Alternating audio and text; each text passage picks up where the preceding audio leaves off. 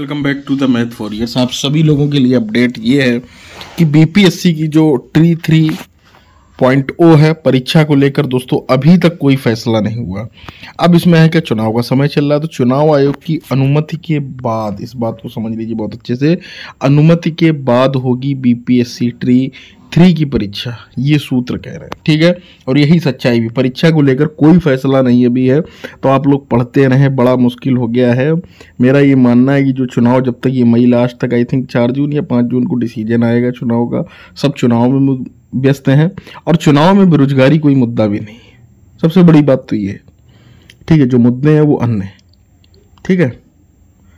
कि मंदिर कहाँ बना, कहाँ क्या हुआ, जम्मू कश्मीर अन्य मुद्दे हैं, बेरोजगारी कोई मुद्दा ही नहीं।